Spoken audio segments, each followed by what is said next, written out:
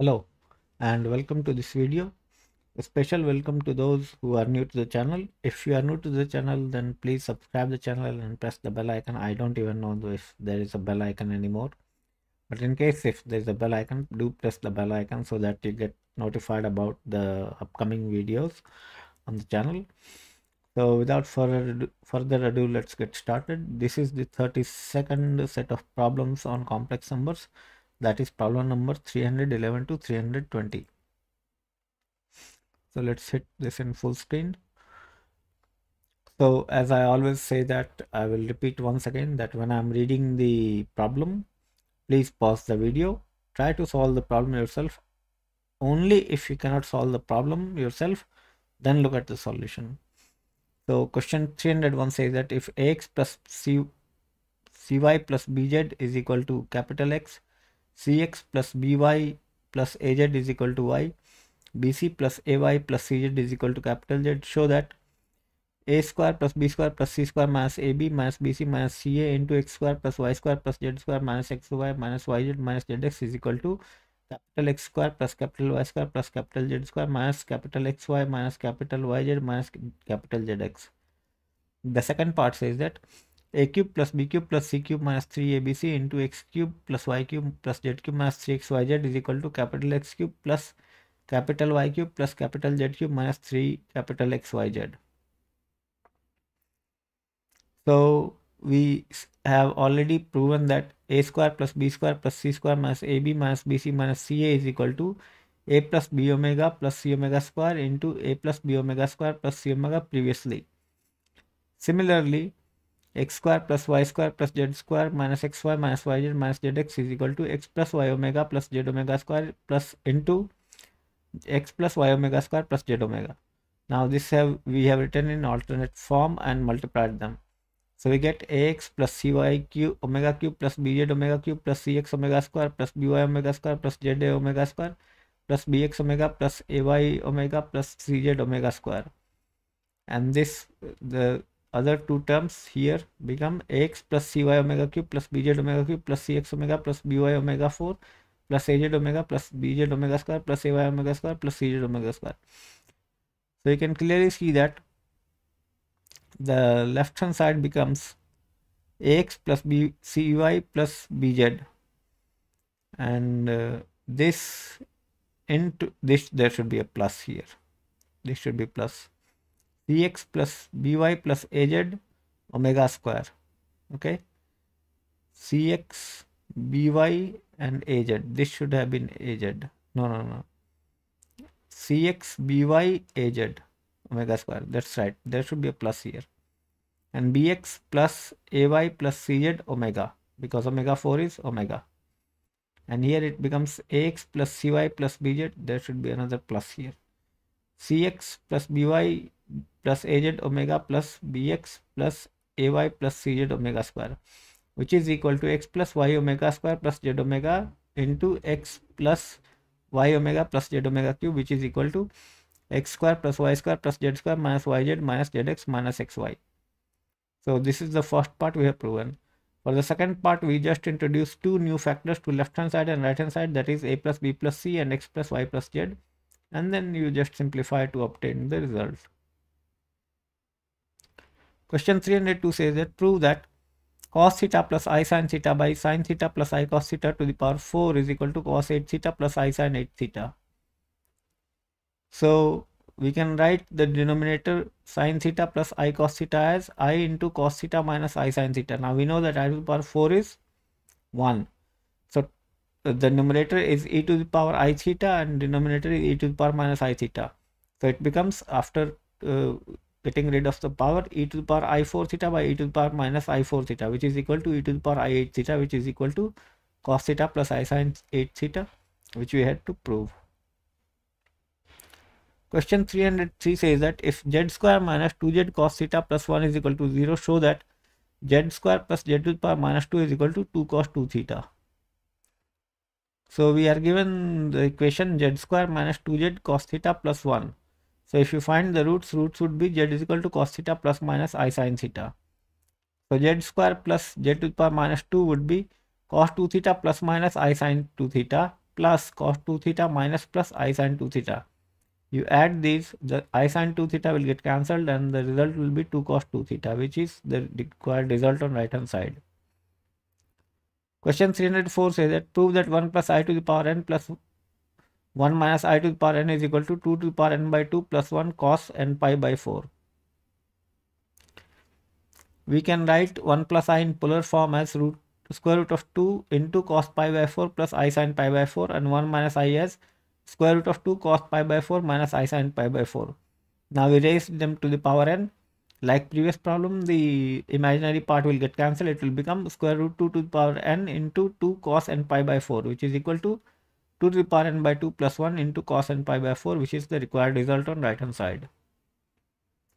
Question 305 says that show that the value of sigma k is equal to 1 to 6 sine 2 pi k by 7 minus i cos 2 pi k by 7 is i.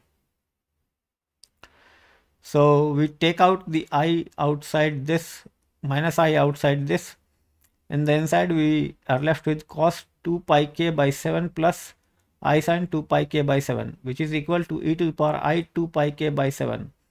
So now we apply the geometric series with the first term e to the power i 2 pi by 7 and uh, common ratio e to the power i 2 pi by 7. So it becomes minus i into 1 minus e to the power 2 pi by 1 minus e to the power minus i 2 pi by 7. So th this e to the power i this e to the power 2 pi is equal to 1. So this whole term becomes 0. So we get the value after simplification as i. Question 306 says that show that e to the power 2mi cot inverse p pi plus 1 by pi minus 1 to the power m is equal to 1. So we let cot inverse p is equal to theta. So cot theta is equal to p.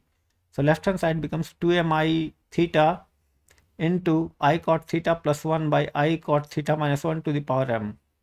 So we change this uh, cot theta into cos theta by sine theta and we take out i as well. So i gets cancelled. The numerator is cot theta minus i and denominator is cot theta plus i. So if we change it to cos theta by i cos theta by sine theta, it becomes cos theta minus i sine theta by cos theta plus i sine theta. So this is equal to e to the power minus i pi by e to the power e to the power minus i theta by e to the power i theta. We take it out of the power and it becomes e to the power 2mi theta into e to the power minus 2mi theta that is e is equal to 0 which is 1 that is what is required on right hand side. Question 307 says that prove that 1 plus sine phi plus i cos phi by 1 plus sine phi minus i cos phi to the power n is equal to cos n pi by 2 minus n phi plus i sin n phi by 2 minus n phi. And this should also be pi by 2 but let's see uh, okay. That would be n pi by 2 there there are typing mistakes. So we take 1 plus sine phi plus i cos phi as r cos theta plus i sin theta and 1 plus sine phi is equal to r cos theta cos phi is equal to r sin theta. So we raise to the power n it becomes r to the power n cos n theta plus i sin n theta. Now we take conjugate we get 1 plus sine phi minus i cos phi to the power n is equal to r to the power n cos n theta minus i sin n theta so if we take the ratio, it becomes e to the power i n theta by e to the power minus i n theta is equal to e to the power 2 i n theta is equal to cos 2 n theta plus sin 2 n theta. Now tan theta is equal to cos phi by 1 plus sin phi that is equal to cos square phi by 2 minus sin square phi by 2 divided by cos phi by 2 plus sin phi by 2 whole square which is equal to cos phi by 2 minus sin phi by 2 divided by cos phi by 2 plus sin phi by 2 which is equal to 1 minus tan phi by 2 divided by 1 plus tan phi by 2 which is equal to pi by 4 minus phi by 2. So theta is equal to phi, pi by 4 minus theta uh, minus phi by 2. So 2 and theta would be n pi by 2 minus n phi and that's how we have proven it. So yeah this phi would be pi and this phi would be pi and this pi is fine. Question 308 says that if sine alpha plus sine beta plus sine gamma is equal to cos alpha plus cos beta plus cos gamma is equal to 0, show that cos 3 alpha plus cos 3 beta plus cos 3 gamma is equal to 3 cos alpha plus beta plus gamma and sine 3 alpha plus sine 3 beta plus sine 3 gamma is equal to 3 sine alpha plus beta plus gamma. So we let A is equal to cos alpha plus I sin beta, B is equal to cos beta plus I sin beta and C is equal to cos gamma plus I sin gamma. So A plus B is equal to cos alpha plus cos beta plus cos gamma plus I sin alpha sin beta sin gamma. So both the sums are given as 0 so it becomes 0. Now a cube plus b cube plus c cube minus 3abc is equal to a plus b plus c into a square plus b square plus c square minus ab into bc into minus bc in minus ca. Now a plus b plus c is 0 so this entire thing becomes 0. That's why a cube plus b cube plus c cube is equal to 3abc. That is why we equate the real and imaginary parts we get cos 3 alpha plus cos 3 beta plus cos 3 gamma is equal to 3 cos alpha plus beta plus gamma and sine 3 alpha sine 3 beta sine 3 gamma addition of those is equal to 3 sine alpha plus beta plus gamma. Question 309 says that if sine alpha sine beta plus sine gamma is equal to cos alpha plus cos beta plus cos gamma is equal to 0, show that cos 2 alpha plus cos 2 beta plus cos 2 gamma is equal to sine 2 alpha plus sine 2 beta plus sine 2 gamma is equal to 0. So like previous problem, we have determined that 1 by a plus 1 by b plus 1 by c is equal to cos alpha plus cos beta plus cos gamma minus i sin alpha plus sin beta plus sin gamma is equal to 0. Now we know that a square plus b square plus c square is equal to a plus b plus c whole square minus 2ab plus bc plus ca. Now this is equal to a plus b plus c whole square minus 2abc into 1 by a plus 1 by b plus 1 by c. So now we can say that 0 square is equal minus 2abc into 0 is equal to 0. So left hand side is equal to cos 2 alpha plus cos 2 beta plus cos 2 gamma plus i sin 2 alpha plus sin 2 beta plus sin 2 gamma is equal to 0. So we equate the real and imaginary parts, we get the desired result. Now this we have followed from the previous uh, result because a plus b plus c was proven to be 0 in the previous case. Question 310 says that if alpha beta are roots of the equation t square minus 2t plus 2 is equal to 0 show that a value of x satisfying x plus alpha to the power n minus x plus beta to the power n divided by alpha minus beta is equal to sine theta by sine to the power n theta is cot x is equal to cot theta minus 1. So we have t square minus 2t plus 2 is equal to 0 implies that roots are 1 plus minus i. Now we let alpha is equal to 1 plus i and beta is equal to 1 minus i. So x plus alpha is x plus 1 plus i and x plus beta is x plus 1 minus i and alpha minus beta is 2i. Now we let x plus 1 is equal to r cos phi and 1 is equal to r sin phi. So x plus alpha to the power n minus x plus beta to the power n divided by alpha minus beta is equal to sin theta by sin n theta. We substitute this value, we get r to the power n cos n phi plus i sin n phi minus r to the power n cos n phi minus i sin n phi by 2i is equal to the right hand side. Now the left hand side what will happen is the cos phi will get cancelled and sin i phi will get added and i will get cancelled. So we will have r to the power n sin n phi is equal to sin theta by sin to the power n theta. So from this we can say that sin n phi by sin to the power n phi is equal to sin theta by sin to the power n theta. How we have arrived at this result is because sin phi r sin phi is 1 so r to the power n is equal to 1 by sin to the power n phi. So from this we can say that one of the values of phi is theta. So dividing these two uh, equations we get cot phi. Okay, x plus 1 is equal to cot phi. So x is equal to sorry cot theta. x is equal to cot theta minus 1. With this we come to the end of 32nd set of problems on complex number and in the next uh, video we will solve the 33rd set of problems. So I have think that uh, you would find this video useful and informative. If so, please like the video, uh, make use of the comment box to voice your opinion that what are the topics you would like videos on possibly physics and chemistry which I plan to do after finishing maths.